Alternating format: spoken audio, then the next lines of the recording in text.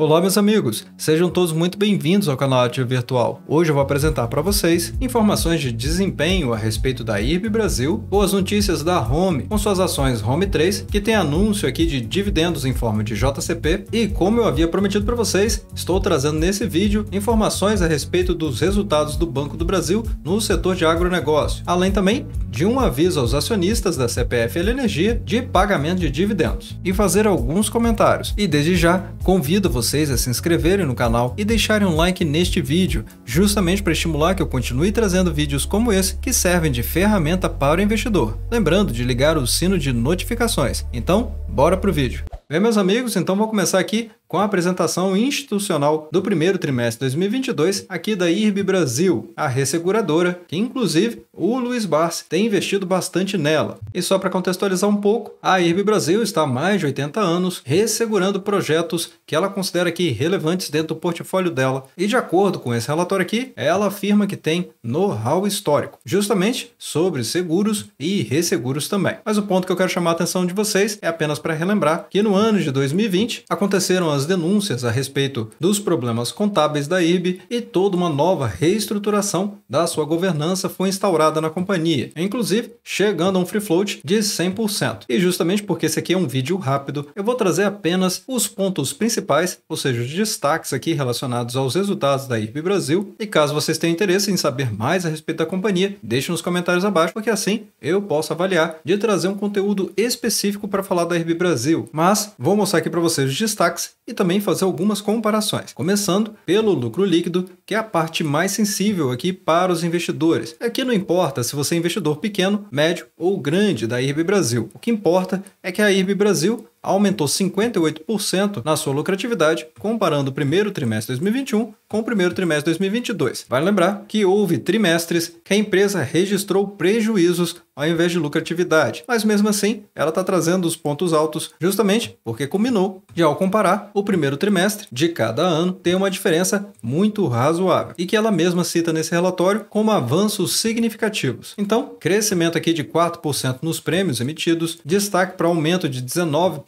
no Brasil, renovações de 86% dos contratos alvo no período período, índice combinado ampliado de 97% e normalizado de 83%. E para explicar, esse índice aqui, ele retira efeitos do Covid e demais eventos atípicos, até mesmo como quem investe na IRB Brasil certamente deve saber que ela também tem seguro rural. Então, também retira daqui eventos atípicos sazonais. No entanto, houve sinistralidade agravada em 13 pontos percentuais por conta de efeitos climáticos e do Covid também, mas ela afirma que o resultado financeiro foi robusto, que incluindo efeitos não recorrentes, somam 150 milhões de reais. Isso aqui é um pouco controverso, mas eu vou falar um pouco mais especificamente sobre isso. E de acordo aqui com o relatório também, ela possui índices regulatórios dentro do marco legal. Bem, realmente quando olhamos aqui para esse gráfico do payout da Brasil, vemos aqui os 80,4 milhões de reais de lucratividade que ela teve no período, que ela arredondou para 81 milhões de reais no resultado que eu mostrei para vocês há pouco. E realmente, se olharmos aqui para o resultado de 2020, vemos claramente que houve sim forte recuperação de uma maneira geral da companhia, porque saiu de um grande prejuízo e foi por isso que eu destaquei o escândalo que aconteceu nos resultados do ano de 2020. A empresa conseguiu fazer um turnaround que aparentemente está sendo sim bem sucedido. Inclusive, já vou pedindo a você para deixar nos comentários abaixo se você é investidor da IRB Brasil e o que, que você está achando dos resultados da companhia, se você realmente está acreditando nesse turnaround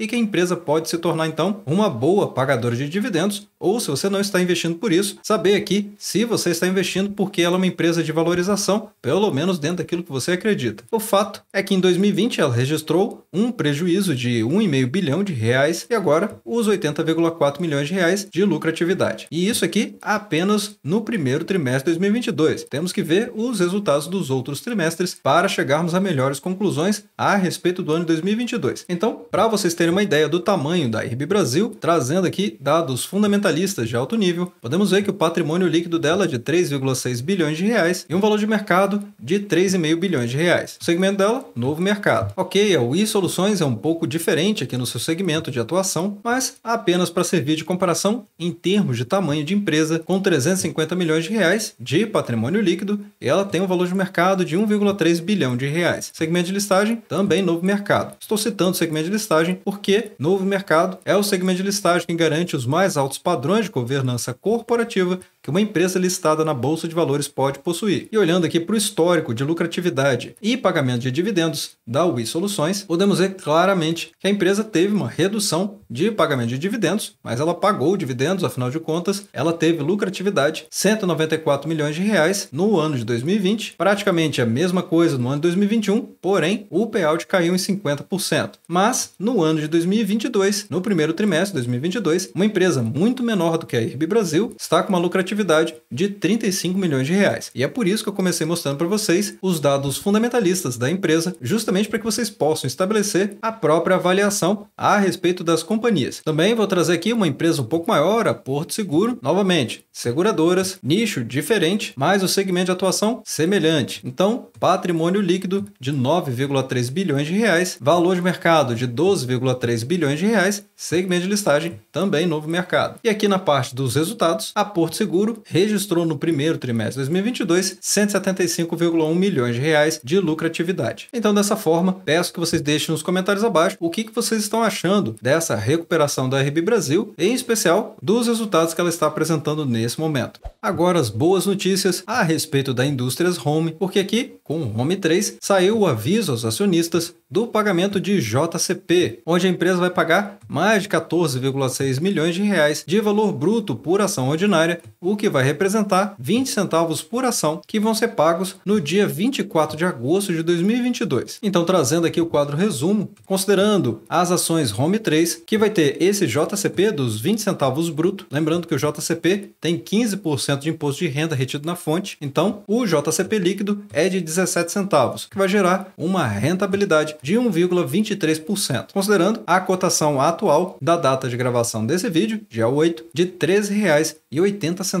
Data com dia 13 de 6 de 2022 e a data do pagamento 24 de 8 de 2022. E aí vocês podem me perguntar, Alex, mas quanto que eu posso comprar as ações para receber esse bom pagamento aqui da Indústrias Home? Bem, você pode comprar a qualquer momento até o dia 13 do 6. Só não pode deixar para comprar no próximo dia útil, porque este vai ser o dia ex-juros ou ex-direitos. Em outras palavras, não vai ter o direito de receber esse pagamento aqui. E apenas para a gente seguir aqui com a nossa simulação de investimento, se você tivesse investido nas ações da Indústrias Home, comprando 100 ações ao preço médio de R$ 13,80, estaria investindo então R$ 1.380, o que renderia uma renda passiva de R$ 17,00 nesse pagamento aqui. Mesma coisa, mil ações, investimento total de R$ 13.800, renda passiva R$ 170,00 e 10 mil ações, R$ 138.000, renda passiva R$ 1.700. Agora trago para vocês o agronegócio no Banco do Brasil. E como quem acompanha o canal sabe, o agronegócio tem sido um excelente negócio para o Banco do Brasil e, naturalmente, trazendo bons efeitos também para outros bancos. Mas de fato, o Banco do Brasil está na liderança nesse setor aqui, com uma atuação brilhante aqui nos destaques da carteira agro, atingiu 254,6 bilhões de reais, representando 28,2% de crescimento na sua carteira. E como eu falei para vocês, ele está liderando esse segmento do agronegócio, porque ele atingiu a marca de 53,4%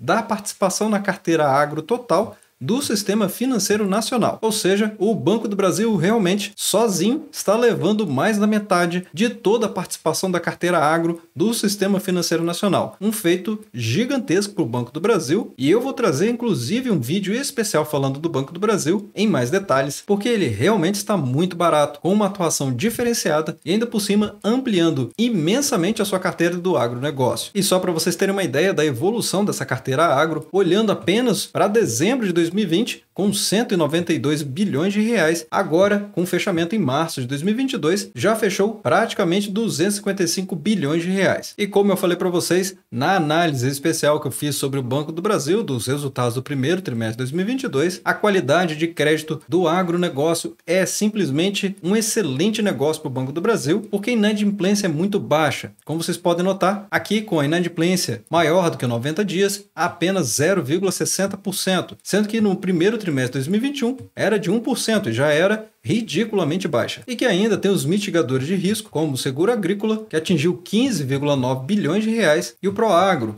que atingiu 4,9 bilhões de reais. E inclusive o Banco do Brasil está oferecendo opções agro diretamente no seu aplicativo, facilitando muito a acessibilidade para a contratação dos produtos relacionados ao agronegócio. Então, Banco do Brasil trazendo inovação, aumentando sua carteira de negócios, aumentando a contribuição do segmento dentro do seu portfólio total, além de ter a liderança nacional deste segmento. Realmente, o Banco do Brasil está tendo um resultado diferenciado e que merece a atenção dos investidores nesse momento. E nesse caso, inclusive, eu pedi que vocês deixem nos comentários abaixo para saber o que vocês estão achando do Banco do Brasil e o momento atual dele. E agora trago para vocês também aqui o aviso aos acionistas agora da CPFL Energia, que embora não seja um anúncio de dividendos, mas ela está trazendo aqui a data de outro grande pagamento que ela vai fazer. Embora vou mostrar para vocês que ainda tem uma data em aberto. Mas o fato é que ela está trazendo esse comunicado aqui para informar os acionistas e o mercado em geral a respeito do pagamento de dividendos que ela já informou no aviso aos acionistas divulgado no dia 29 de abril de 2022 e que inclusive eu trouxe aqui no canal. Mas aqui ela vai fazer o segundo pagamento referente a 400 milhões de reais. E a data desse pagamento vai ser agora, dia 14 de junho de 2022. Excelente notícia, justamente para aqueles acionistas da CPFL Energia que estavam aguardando a data desse pagamento com ansiedade, porque ela já tinha pagado quase 1,1 bilhão de reais, representando ali pouco mais de 94 centavos por ação no dia 11 de maio de 2022. E agora, esses 400 milhões de reais, que representam 34 centavos por ação ordinária, praticamente 35, vai ser agora o dia 14 de junho de 2022. Mas ela também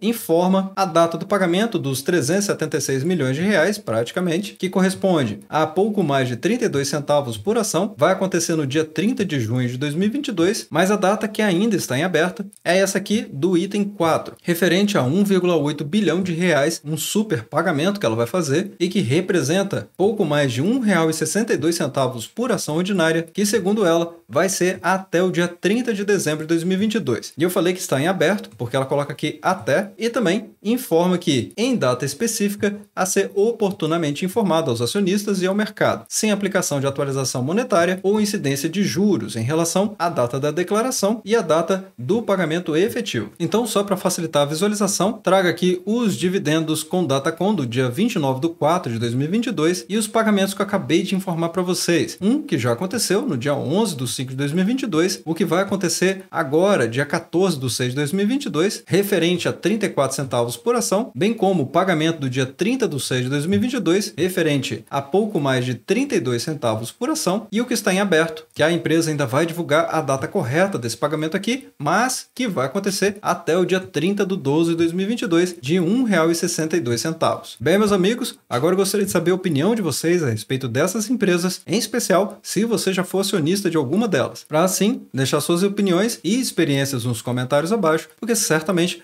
poderão ajudar outras pessoas que estão pensando em investir também. Bem, meus amigos, espero que esse vídeo tenha ajudado vocês e caso tenha ajudado, peço que vocês deixem um like nesse vídeo, se inscrevam no canal e liguem o sino de notificações para ficarem bem informados. E um agradecimento especial para os membros do canal que favorecem que esses conteúdos sejam feitos para toda a comunidade.